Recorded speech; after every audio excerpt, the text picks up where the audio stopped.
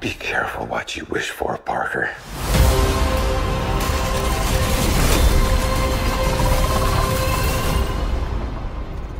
Hello, Peter.